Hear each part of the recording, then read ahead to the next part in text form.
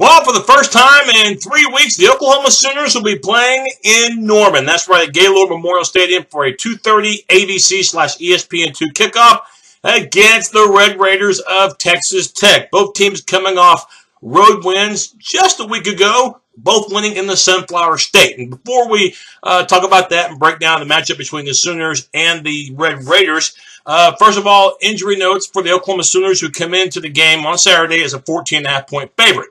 Um, injury wise, it does not look like Jordan Evans will be playing, and if so, he's going to be very, very limited after an injury um, a week ago against the Wildcats. So Frank Shannon looks like will get the start at linebacker. But good news, and you know, hit me over the head with a uh, club if you've heard this before. But uh, looks like Devante Bond will play. Now we said that last week. But that ankle sprain turned out to be a high ankle sprain against West Virginia. So the severity of the injury was higher than we could have expected. So that's why you didn't see him against Texas or K-State. But they've got to have Devante Bond, especially against the high scoring offense of the Red Raiders. So it looks like Bond uh, will be in action as well. So fantastic news for Oklahoma from that regard, but not so good news. Again, it doesn't look like Jordan Evans is going to play, and if so, he's going to be limited. Um, you know, entering last Saturday's game. You probably already heard it by now, but you know the 55 to nothing win is amazing for Oklahoma. That's one thing you can say. Even more amazing was the fact that the day before that Friday, an eight-hour flight delay at Will Rogers Airport in OKC. That's right, the Sooners waited nearly eight hours after three planes, that's right, three, not one, not two, but three, had a mechanical issue of some sort. Yeah, not good. So what did the players do during that eight and a half stretch? Well, Samaje Perine actually was watching YouTube videos, and Eric Striker was actually on the phone with friends, kind of a way to pass the time. And the OU staff was busy making sure that the players had plenty to eat with a little bit of fast food. So the nutrition part, yeah, that was covered as well.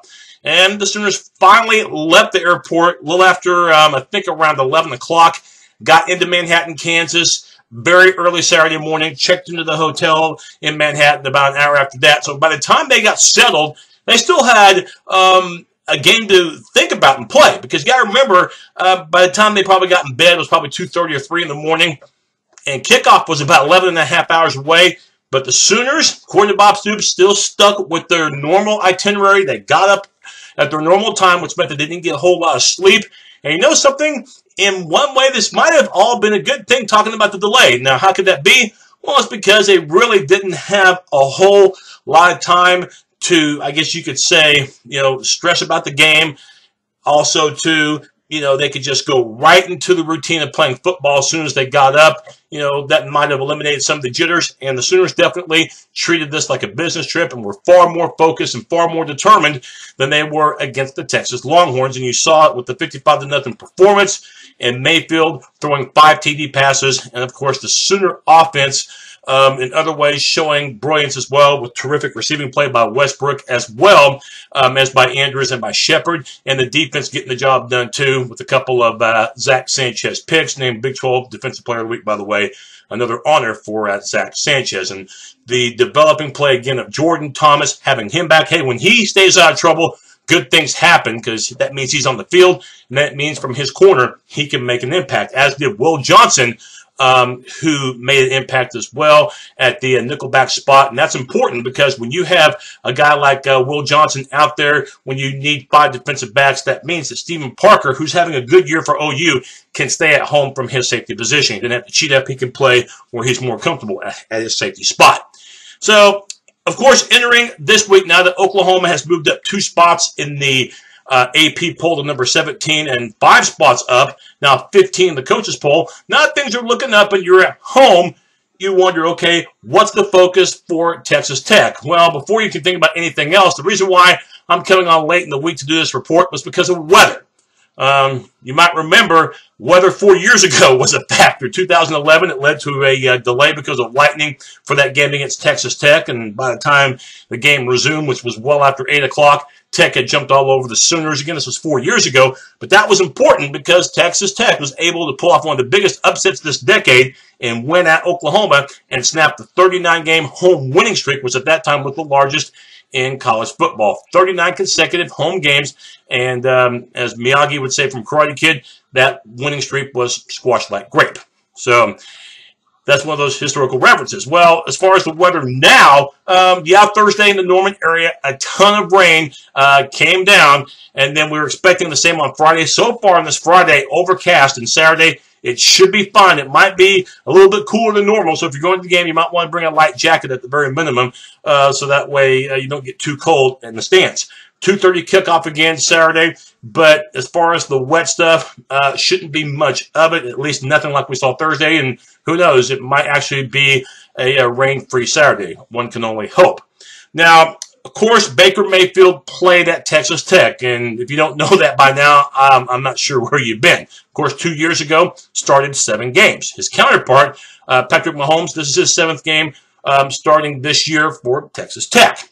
Um, Mayfield, of course, was a Big 12 Offensive Newcomer of the Year as a Red Raider two years ago, a walk-on, got hurt, and Davis Webb um, played the rest of the regular season. By the time Mayfield was ready to go, Coach Kingsbury, who at that time was in his first year at Tech, thought that the two, both uh, Mayfield and Webb, should battle for that starting position for the bowl game. Of course, you know Mayfield thought that that job was his. Um, and, injured was the only reason why it wasn't.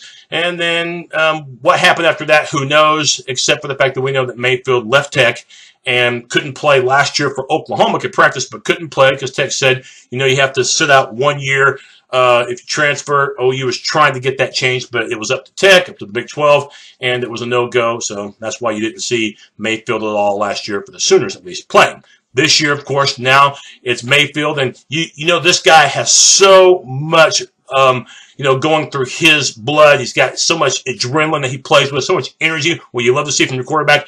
But he has to remember, too, that he still has to keep his cool, and he has to understand that, hey, it can't all be just him. Mayfield is going to have an opportunity to see the ground game get the job done. Last year in Lubbock, um, OU actually came from behind in the second half and dominated Tech, thanks in part to that running game. Perine had over 200 yards last year. And I know this is an air raid attack. Um, installed, of course, by Lincoln Riley. Of course, he was a former Mike Leach assistant at Tech. But I wouldn't be surprised if you see the Sooners do more of the same. That is not so much ignore the pass, but run a little bit more than normal because Tech is not a good team against the run. Tech last week, they, they got their fifth win of the year. And by the way, they didn't win five games all of last year. That's right, they went four and eight. So they're one win away from bowl eligibility at five and two. But what Texas Tech team will we see? Will it be the one that played so well at Arkansas and pulled off a big upset at that time in Little Rock to uh, get revenge on the Razorbacks from the year before? Or will it be that team we saw last week against Kansas in which um, Ryan Willis, the KU quarterback, completed 70% of his passes and threw for over 300 yards. And by the way, uh, DeAndre Mann, um, the running back for Kansas, ended up rushing for um, over 100 yards and had seven yards of carry. Defensively, you know, Tech held their own and got a big play at the end when it was just a three-point game in Lawrence uh, with the interception return for a touchdown by Jah'Shawn Johnson. That pretty much saved Tech from becoming a big upset victim because it was just a three-point game, 23-20 Tech late, about five minutes ago. KU had the ball, but it was a Johnson interception return for a touchdown. They had to make Red Raider fans feel a little bit better at that particular time. So there's absolutely no doubt that the uh, Red Raiders did not play their best game last week. Now, you know, Mahomes did throw for over 300 yards. DeAndre Washington probably had the biggest standout game amongst any Red Raider with 157 yards on the ground. But uh, Mahomes only completed, get this, 58% of his passes. That's why he had 21 incompletions. Was it a sign of things to come for Texas Tech entering the second half of the season? Or was they just simply looking ahead to the Sooners? If you're a Red Raider fan, you'd pretty much like to say the latter. You know, thinking ahead to the game against Norman. Who gets pumped up to play Kansas, right? But the fact that the Red Raiders were um, in a ball game with about five minutes to go with one of the worst teams in the country at 23-20 tells you that, that Tech mentally wasn't ready and maybe Kansas played better than what we thought. But to say that Tech's going to play that way again, you know, you might be kidding yourself. After all, you know, we'd be hypocrites as Sooner fans to say that Tech's going to play like that again. Know this because two weeks ago, OU played like junk against Texas, and last week, completely different team. Now, am I saying Tech's going to go into Norman and win big? No, but I am saying that I would find it hard to believe that Tech is just going to lay an egg and play like they did last week in Lawrence and do the same in Norman. I expect Tech's offense will score points. I just don't think they can contain OU's offense either on the ground or through the air. Look, as long as Mayfield plays within himself and doesn't, you know, get over pumped because when you're playing against your former team, a team that pretty much you think burns you, then the thought is, you know, something I'm going to show them, and you might get away from the whole objective, which is make it a team game and just play within yourself and, you know, just don't overdo it from an energy standpoint. I look for the Sooner offense to have a huge day. I'm going to pick it 45-28. Um, the over under the total in this game is 74 and a half. I've got it at uh, 73, so I'm pretty close to what Vegas has. And the Sooners are favored by 14 and a half. I got OU winning by 17. So that's almost consistent with what the boys from Nevada are saying about this game. I do think Tech, because it is a passing offense, which you did not see against Kansas State or against Texas. I do think the Sooner secondary is going to give up some. So the key is win some battles. Um, the big thing is if you're the Sooners, you know Tech is capable of, of moving the ball up and down the field. Try to get some victories here and there. You know, you know, force turnovers, obviously. Make sure that if they drive deep, basic talk, you know, force them to field goals, things like that. And hey, in a game like this, that could make all the difference between victory and losing, or the difference in this game being decided in the fourth quarter, or having it come down to the wire. So I do think the Sooner defense will be challenged this week, kind of like what they were challenged against Tulsa from about a month ago. Kind of the same offense, but I do look for the Sooners with their offense to be too much at home, 45-28. OU, my opinion, should be able to cover that 14 and a half. My post-game show of the Sooners and Red Raiders will be late Saturday night or Sunday morning. Please check it out on this very channel. And my college football picks, I'll have those later for you as well. Boomer Sooner.